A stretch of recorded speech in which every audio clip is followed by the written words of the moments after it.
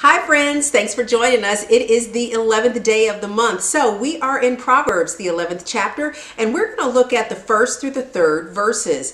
And I'm basically going to look at them from the Message Bible translation and just really just kind of read them verbatim and then give you a pearl of wisdom and get out of your hair. So, um, before we get started, want to make sure that you um, give us a thumbs up, that you like this page, also that you share this page with a friend and share this video with a friend and also subscribe to the proclamation 101 because we've got um, a whole month worth of proverbs jewels and and gems that we want to share with you and we want to make sure that you know when they come up. So make sure you subscribe to the page so that you're not left out when we download or upload new videos. Okay Proverbs, the 11th chapter, the first through the third verse. We're looking at the Message Bible translation. It's just a different translation. There's like King James Version, um, New Living Translation, but the Message Bible to me just makes it so plain. It's like everyday language that you and I would talk.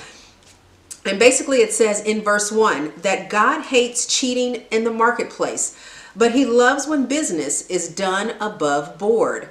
How's that for you? That's as plain as it can get. God doesn't like when there's cheating going on, especially in the marketplace, anywhere I can imagine. But this one is focused on the marketplace. Um, marketplace meaning in the place of business um, where you buy and sell things, whether that marketplace is a brick and mortar or the marketplace is on the internet. God doesn't like cheating that happens in the marketplace, but He loves it when business is done above board.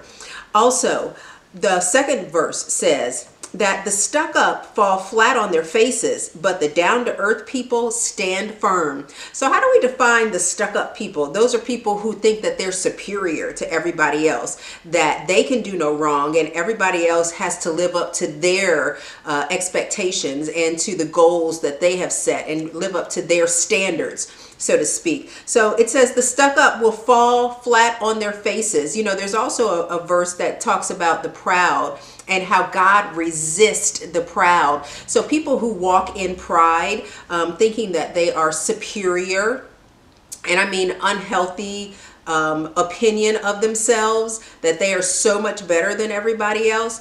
Um, it says that God resists the proud. And what does it mean to resist something? It's almost like you're pushing against it. You resist it. You don't allow it to go forward. You don't allow it to progress. You resist it from making any progress. God resists those who are proud and proud, um, not just uh, looking proud, but you know what God looks at? He doesn't look at necessarily the actions per se, but he looks at the intent of the heart. Let's pay attention to what's happening in our hearts because only we can um, identify that. People on the outside, they don't know what's happening in our in our hearts because sometimes we do things and don't necessarily mean them from our hearts, but we can go through the motions and act out and act through and just do what we feel is the appropriate or the politically correct thing to do. But God is looking at our hearts. Let's keep our hearts healthy, naturally and spiritually. Let's keep them healthy.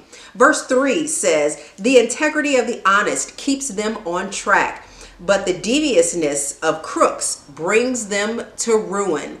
So it pays to be honest. It pays to walk in integrity. It pays to do things right because it will ultimately end you, put you in a place, um, a solid place. Um, I know that there are people who do things, um, kind of do things underhandedly, and it seems like they progress a lot faster than other people. But those kind of people don't always last. Uh, sometimes um, they may last in the position, but they don't have peace. Um, sometimes they may um, last in, you know, the the project that they're working on and however whatever they did to get ahead but there's always something kind of missing um, whether it's like i said the peace or them um, being solid or them being confident. You know when you do things right you stand on a solid ground. You stand in confidence in what you do and in the um, outcome of what you do so the reason that we are doing these verses and we're doing them out of the book of Proverbs is because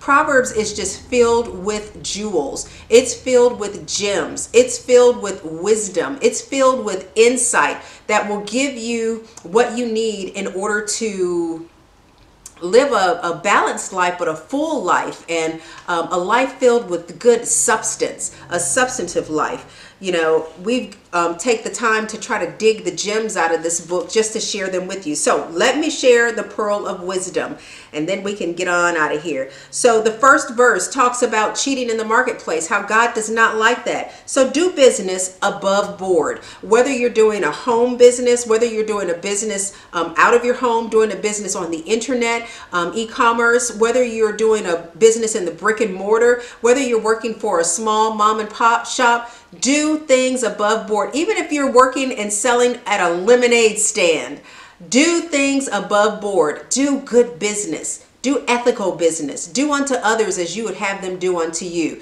Just do the right thing no matter what, especially when it comes to business, because you do reap what you sow. So those seeds that you plant have a way to come back and bite you sometimes. The second verse also talks about those who are balanced, reasonable, and responsible will stand firm. That just kind of confirms a little bit of what we were talking about a little earlier when we were talking about um, when you do things with integrity, when you do things with the right motive, when you are honest, it simply puts you in a place where you stand firm. You don't have to look over your shoulder and worry about the person that you stepped on or that you wronged coming back and exposing you.